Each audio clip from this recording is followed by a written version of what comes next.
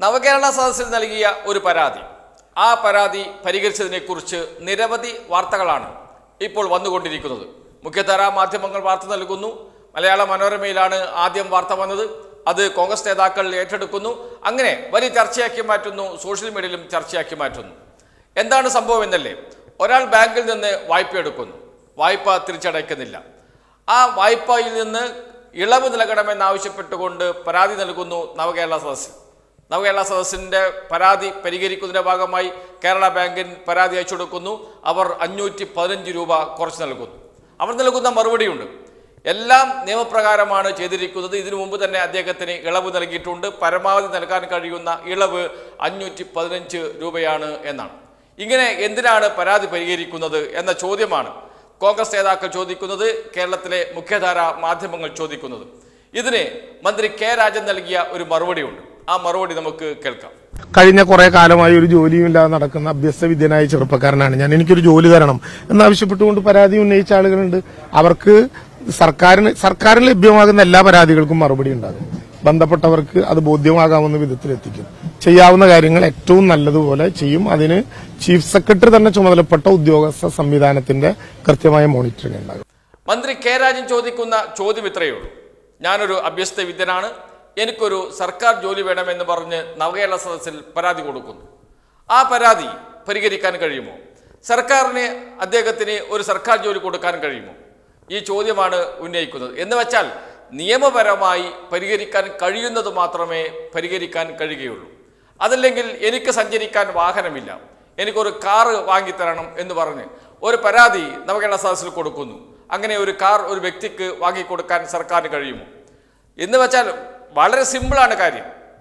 പരാതി കൊടുക്കുന്നത് പരിഹരിക്കാൻ കഴിയുന്ന പരാതിയായിരിക്കണം. ഇപ്പോൾ സർക്കാർ ഓഫീസിൽ നമ്മൾ ഒരു പരാതി കൊടുക്കുന്നു. അത് സർക്കാർ ഉദ്യോഗസ്ഥന്മാരുടെ അനാസ്ഥ മൂലം പരിഹരിക്കപ്പെടാതിരിക്കുന്നു. അത് നീണ്ടു നീണ്ടു പോകുന്നു. അത്തരം കാര്യങ്ങളിൽ സർക്കാരിന് സർക്കാരിന്റെ നിയമത്തിന് അകത്ത് നിന്നുകൊണ്ട് പരിഹരിക്കാൻ പറ്റുന്ന പരാതികൾ അത് കെട്ടിക്കടക്കാൻ പാടില്ല. അത് എത്ര വേഗം പരിഹരിച്ചു കൊടുക്കണം. അതല്ലെങ്കിൽ ഉചിതമായ മറുപടി പരാതിക്കാരന് നൽകണം ഇതാണ് സർക്കാർ നവകേരള സദസ് കൊണ്ട് ലക്ഷ്യമിട്ടത്. ആ ലക്ഷ്യത്തിലേക്ക് പോകുമ്പോൾ ഒരു പരാതിയിൽ വന്ന ഒരു കാര്യം ഉയർത്തിപ്പിടിച്ചുകൊണ്ട് പരാതികളെല്ലാം ഇങ്ങനെയാണ് നവകേരള സദസ്സിൽ പരാതി കൊടുത്തവർക്ക് ലഭിക്കാൻ പോകുന്നത് ഇങ്ങനെയാണ് എന്നൊക്കെ പറഞ്ഞ് വലിയ വാർത്തകൾ ചമയ്ക്കുന്ന ദോഷൈക ദൃഷ്ടികൾ എന്ന് പറയുന്ന ആൾക്കാരുണ്ട്. അതാണ് ഇവിടെയും സംഭവിച്ചത് എന്ന് നമുക്കറിയാം. ഏതായാലും ആറ് ലക്ഷത്തി പന്ത്രണ്ടായിരത്തി ഒരുന്നൂറ്റി അറുപത്തി ഏഴ് പരാതികളാണ്. ഇതുവരെയായി നവകേരള സദസ്സിൽ കിട്ടിയിരിക്കുന്നത്. അതിൽ ഏറ്റവും കൂടുതൽ പരാതി ലഭിച്ചത് മലപ്പുറം ജില്ലയിൽ നിന്നാണ്. എൺപത്തി ഓരായിരത്തി മുന്നൂറ്റി അമ്പത്തി നാല് തൊട്ടടുത്ത് പാലക്കാടുണ്ട് അറുപത്തി ഓരായിരം കൊല്ലത്ത് അൻപതിനായിരം പത്തനംതിട്ട ഇരുപത്തി മൂവായിരം ആലപ്പുഴ അമ്പത്തി മൂവായിരം തൃശൂർ അമ്പത്തിനാലായിരം കോട്ടയം നാൽപ്പത്തിരണ്ടായിരം ഇടുക്കി നാൽപ്പത്തിരണ്ടായിരം കോഴിക്കോട് നാൽപ്പത്തി അയ്യായിരം കണ്ണൂർ ഇരുപത്തി എണ്ണായിരം കാസർഗോഡ് പതിനാലായിരത്തി എഴുന്നൂറ്റി നാല് ഇങ്ങനെയാണ് പരാതികൾ വന്നിരിക്കുന്നത്.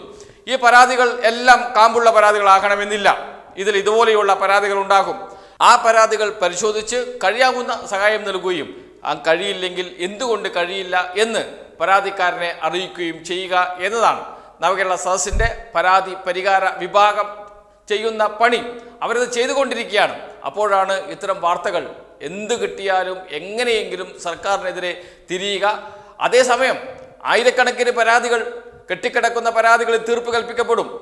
തീർപ്പ് കൽപ്പിക്കപ്പെടും എന്ന് മാത്രമല്ല ഒരു വ്യക്തിക്ക് ലഭിക്കേണ്ട ആനുകൂല്യം ഏതെങ്കിലും സർക്കാർ ഉദ്യോഗസ്ഥൻ ബോധപൂർവം തടഞ്ഞു വെക്കുകയോ ഒക്കെ ചെയ്തിട്ടുണ്ടെങ്കിൽ അത്തരം പരാതികൾ പരിഹരിക്കപ്പെടുകയും ആ വ്യക്തിക്ക് അതിന് ഗുണം ലഭിക്കുകയും ചെയ്യും. എന്നാൽ അത്തരം വാർത്തകളൊന്നും ഒരു മാധ്യമങ്ങളും കാണുന്നില്ല എന്നതാണ് പ്രധാനപ്പെട്ട വിഷയം. ഇതേപോലെയുള്ള നെഗറ്റീവ് വാർത്തകൾ മാത്രം തേടി നടന്ന് അത് വാർത്തയാക്കുകയും അത് ട്രോളാക്കുകയും അത് ഏറ്റുപിടിച്ച് നമ്മുടെ കോൺഗ്രസ് നേതാക്കൾ വാർത്താ സമ്മേളനം വിളിക്കുകയും ഒക്കെ ചെയ്യുന്നതിന്റെ ഒരു യുക്തി എത്ര ആലോചിച്ചിട്ടും മനസ്സിലാകുന്നില്ല. ഏതായാലും ഒരു കാര്യം ഉറപ്പ് സർക്കാരിന്റെ നിയമത്തിനകത്ത് നിന്നുകൊണ്ട് ചെയ്തു കൊടുക്കാൻ കഴിയുന്നതിനപ്പുറത്തേക്ക് ഉള്ള ഒരു പരാതിയും പരിഹരിക്കാൻ കഴിയില്ല എന്നത് ഒരു യാഥാർത്ഥ്യമാണ്.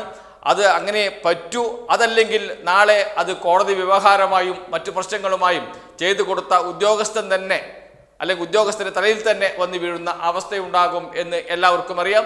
നേരത്തെ ഞാൻ പറഞ്ഞതുപോലെ ഒരു ജോലി വേണം എന്ന് പറഞ്ഞുകൊണ്ടുള്ള അപേക്ഷയുണ്ടാകാം കാറ് വേണം എന്ന് പറഞ്ഞുകൊണ്ടുള്ള അപേക്ഷയുണ്ടാകാം ഭൂമിയില്ല സ്ഥലമില്ല വീടില്ല എന്നൊക്കെ പറഞ്ഞുകൊണ്ടുള്ള അപേക്ഷകളുണ്ടാകാം. അത്തരം അപേക്ഷകളിൽ സ്ഥലം വാങ്ങിക്കൊടുക്കാൻ സ്ഥലമില്ല എന്ന് പറയുന്ന വ്യക്തിക്ക് അതിന് അർഹതയുണ്ടെങ്കിൽ അതിനാവശ്യമായ ഇടപെടൽ നടത്താൻ കഴിയും. അതുപോലെ തന്നെ വീടില്ല എന്ന് പറയുന്നവർക്ക് ലൈഫ് മിഷൻ പദ്ധതി പ്രകാരം ചിലപ്പോൾ ഈ ലിസ്റ്റിൽ പെടാത്തവരായിരിക്കും അടുത്ത ലിസ്റ്റിൽ പെടാൻ സാധ്യതയുള്ളവരായിരിക്കും അത് പരിശോധിക്കും. അങ്ങനെയൊക്കെയാണ് പരാതികൾ പരിഹരിക്കുക എന്നത് അറിയാത്തവരല്ല നമ്മുടെ മാധ്യമ പ്രവർത്തകർ. പക്ഷേ അവർക്ക് വേണ്ടത് നെഗറ്റീവ് വാർത്തകളാണ്. അവർക്ക് എങ്ങനെയെങ്കിലും നവകേരള സദസ്സിനെ ഇടിച്ച് താഴ്ത്തണം. അത് എന്തുകൊണ്ടാണ് എന്ന് വെച്ചാൽ ജനങ്ങൾ നവകേരള സദസ്സിൽ അർപ്പിച്ച വിശ്വാസമുണ്ട്.